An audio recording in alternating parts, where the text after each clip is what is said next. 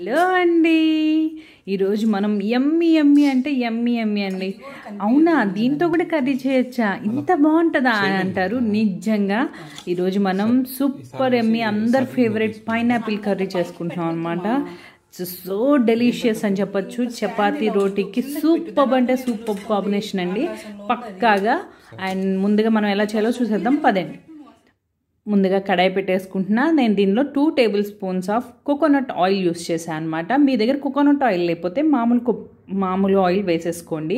And నేను ఎండుమిరపకాయలు ఇవి నాకు కొంచెం కారం లేవు అందుకని ఫైవ్ వేసుకున్నాను. బట్ కారం ఉంటే కనుక టూనే వేసుకోండి. ఏంటంటే మెయిన్గా ఈ కర్రీ ఏంటంటే స్వీట్ అండ్ కొంచెం పులుపు యాడ్ అయినట్టు ఉండాలి. దీనిలో మనం హాఫ్ టేబుల్ స్పూన్ జీలకర్ర హాఫ్ టేబుల్ స్పూన్ సోంపు వేసుకుంటున్నాం అనమాట సోంపు అనేది టేస్ట్ వైజ్ సూపర్గా ఉంటుంది. అండ్ దీనిలో ఎండు కొబ్బరి చిప్పు ఒకటి వేసాను. జీడిపప్పు ఫోర్ ఫైవ్ వేసుకుంటున్నాం. దాన్ని మనం మిక్సీ చేసుకోవాలన్నమాట. దానిలో పచ్చి ఆనియన్ వేస్తున్నాం అనమాట మనం. దీన్ని మిక్సీ చేసేసుకుందాం. మనం మిక్సీ చేసుకున్నాక ఇలా ఉంటుంది ఈ మిక్సీ చేసుకున్న దాన్ని మళ్ళీ కొంచెం కడాయిలో ఆయిల్ వేసేసి దానిలో తాలింపు గింజలు వేసుకొని మనం దా ఏదైతే మనం రెడీ చేసుకున్నామో ఆ పేస్ట్ని వేసుకుందాము. కొంచెం కర్రీ లీవ్స్ వేసుకుందాం. ఒకవేళ కనుక మీకు తాలింపు ఇష్టం లేకపోతే తాలింపు వేసుకోకపోయినా సూపర్గానే ఉంటుందండి.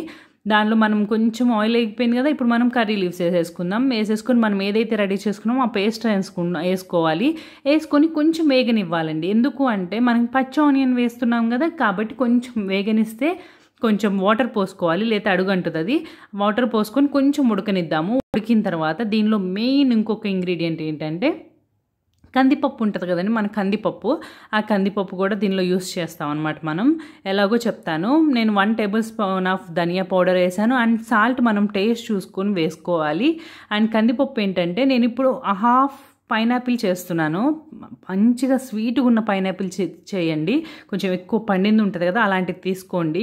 మరి పచ్చిది అలా తీసుకోవద్దు. పులుపుగా ఉంటే ఈ కర్రీని మనం తినలేమన్నమాట. అందుకోసమని కొంచెం స్వీట్గా ఉన్న పైనాపిల్ని తీసుకోండి. హాఫ్ పైనాపిల్ అయితే ఫోర్ మెంబర్స్కి ఈజీగా వస్తుంది. రోటీ చపాతీలు సూపర్ అంటే సూపర్. ఇప్పుడు నేను వేసింది ఏందనుకుంటున్నారా? పప్పు అనమాట పప్పు అంటే కందిపప్పు ఉంటుంది కదా మనం పప్పు చేసుకుంటాం కదా ఆ పప్పుని పావు గిద్ద పెట్టుకొని ఆ పావు గిద్ద పప్పుని ఉడికిచ్చేసుకున్న తర్వాత మ్యాష్ చేసేసి దాన్ని దీనిలో వేస్తున్నాం అనమాట ప్లెయిన్ పప్పుని దీనిలో వేస్తున్నాం ఉడికించిన పప్పుని. ఇప్పుడు నేను పైనాపిల్ వేస్తున్నాను. అది కూడా ఉడికిన తర్వాత మనం కొంచెం పైనాపిల్ వేసుకోవాలి. పైనాపిల్ అనేది తొందరగానే ఉడికిపోతుంది. ఎందుకంటే సాఫ్ట్ ఉంటుంది కాబట్టి. చూసారా? కలర్ కూడా అంత కొంచెం పండిని తీసుకోవాలండి. స్వీట్గా ఉన్నదైతేనే దీని కర్రీ టేస్ట్ అనేది తెలుస్తుంది. కొంచెం మైల్డ్గా పులుపు ఉండాలి స్వీట్ అనేది డామినేట్ చేయాలన్నమాట. కారం అస్సలు వద్దు. అందుకే ఆ ఎండుమిరపకాయలు మనం వేసుకున్నాం కదా అది సరిపోతుంది మీకు కారం కొన్ని ఎండుమిరపకాయలు అయితే రెండు వేసుకోండి అంతే సరిపోతుంది. మనం మూత పెట్టేసుకొని కొంచెం ఉడకనిద్దాము. ఉడికేసిన తర్వాత మనకి ఇలా బబుల్స్ వచ్చి కొంచెం గ్రేవీ దగ్గరకు వచ్చినాక మన పైనాపిల్ కర్రీ ఎమ్మి ఎమ్మిగా మనం తినడానికి రెడీ అయిపోయిందండి. ఎంత టేస్ట్ ఉంటుందంటే అంత టేస్ట్ ఉంటుంది. పక్కాగా ట్రై చేయండి. మీకు నచ్చితే లైక్ చేయండి షేర్ చేయండి కామెంట్ చేయండి. బాయ్.